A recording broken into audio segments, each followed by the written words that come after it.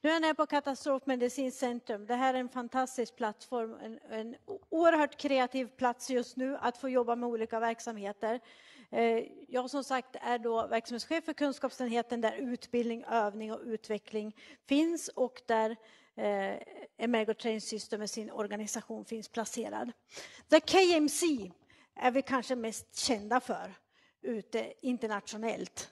Eh, The Center for Teaching and Research in Disaster Medicine and Traumatology. Eh, och vi är ungefär 30 anställda här nu och vi har i det här huset flödar ungefär 8-9 000 besökare varje år. Eh, vi har precis tittat på statistiken, 160 utbildningsdagar och lite mer övriga kunskapshöjande aktiviteter. Det finns några från MSB här va? Det, det, är bra. Kunskapshöjande aktiviteter, det jobbar vi här med dagligen. Eh, vi gör uppdrag åt andra landsting, åt polisen, åt Socialstyrelsen och, och MSB samverkar vi mycket med. FOI, Försvarsmakten, SOS Alarm, kommuner. Alla möjliga inom hela krishanteringssystemet. Olika universitet internationellt. Och en ny part här, det är Mayo Clinic eh, i USA där vi kommer att inleda ett samarbete där vi har fått medel från, faktiskt från Vinnova. Och här på Katastrofmedicinskt centrum. vi är en del av Region Östergötland, därför finns Region Östergötlands regionala ledningsplats också här på, på centret. Vi försöker ha ett nationellt synsätt här, titta på hur vi kan kvalitetssäkra processer, hur vi kan mäta, hur vi kan jämföra, hur vi kan identifiera vad är bra och vad är mindre bra. Att lessons observed på något sätt ändar upp i någon form av lessons learned. För individen, för organisationen, för verksamheten i stort.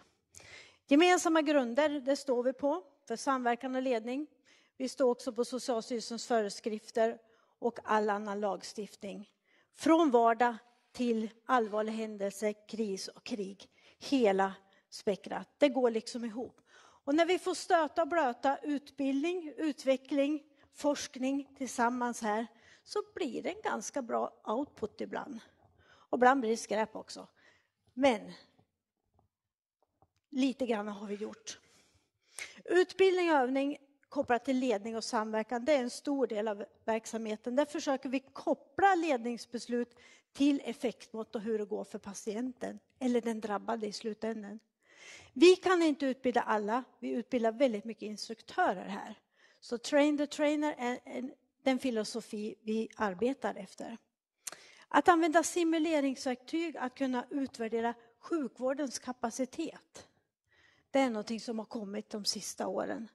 Att kunna bedöma förmåga, om den är god eller mindre god. Det är inte så lätt alla gånger.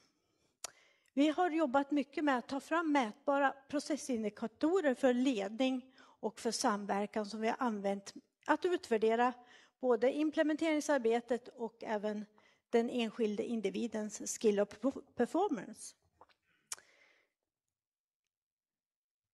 Det här tror jag kanske många känner till.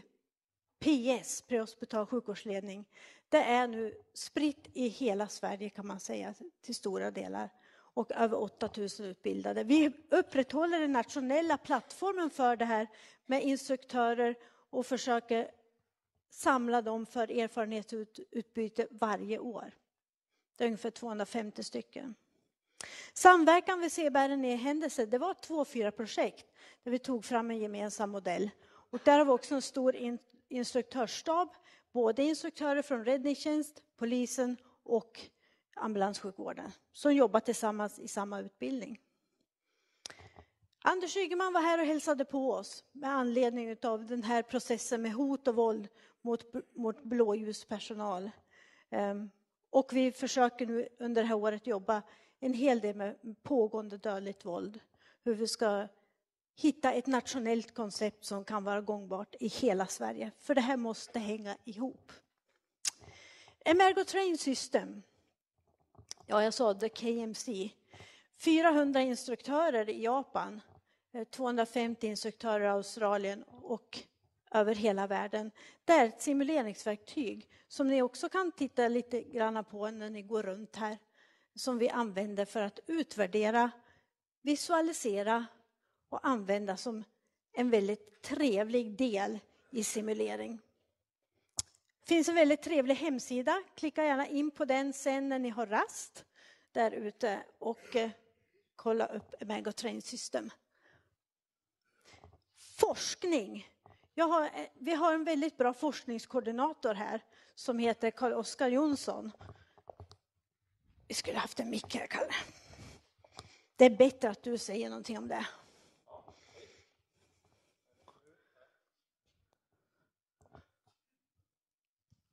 Sådär, ja, hej. Carl-Oskar Jonsson heter jag, jobbar som forskningskoordinator här på KMC, eh, också en del av Carers styrelse. Eh, merparten av vår forskning här på KMC skulle jag säga är väldigt integrerad med Carer, så det är i princip det vi gör. Men som en del av medicinska fakulteten så har vi också en annan organisering av vår forskning. Eh, vi har delat upp den i fem program kan man säga. Eh, ena kallar vi experimentell traumatologi, alltså hur man skadas av olika typer av våld, hur vi kan eh, hjälpa personer som har blivit drabbade av det här. Det kan vara behandlingar, det kan vara teknik som kommer från Framtidens skadeplatsforskningsprogrammet för att övervaka och se vilka som är i störst behov av hjälp först. Vi har ett program som vi kallar Human Performance, alltså Human Factors-biten, hur, eh, hur man ska agera, hur man ska träna för att kunna gå till exempel om vi tittar på en, en kirurg som till vardags väldigt många gånger är superduktig titthålskirurg som helt plötsligt ska jobba under andra förutsättningar. Det kommer in tio svårt skadade samtidigt till sjukhuset. Hur ska vi träna dem? Vi har ett program som vi kallar modellering och simulering som handlar bland annat om hur man använder det här Emergo Train System som ett enkelt eh, sätt för att träna effektivt utan att vi ska behöva bygga upp de här jättestora fullskaleövningarna till exempel. Eller kan vi datorisera det för att göra det ännu smidigare? Eh, vi har ett program som vi kallar beredskap och ledning som handlar om eh, resiliens bland annat. Hur kan vi utveckla de här kvalitetsförbättringsprogrammen bland annat med indikatorer. Och sen har vi ett program som heter Internationella medicinska programmet som eh, är forskning riktad till länder, inte nödvändigtvis akut i en kris, men återuppbyggnaden. Efter en katastrof eller ett krig i andra länder så tar det väldigt lång tid att bygga upp den medicinska kompetensen efteråt.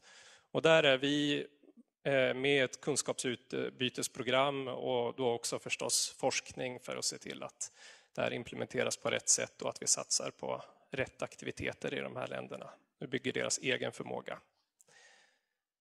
Ja, Bra. det var kortversionen. Eh, jag tror egentligen inte att jag ska säga så mycket mer, men det är, finns en sak som är väldigt bra att tänka på.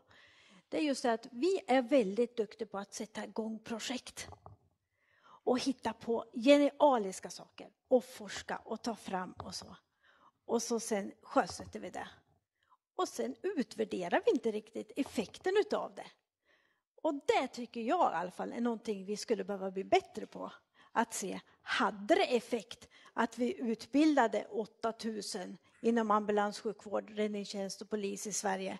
Hade det någon effekt överhuvudtaget och vad var det för effekt?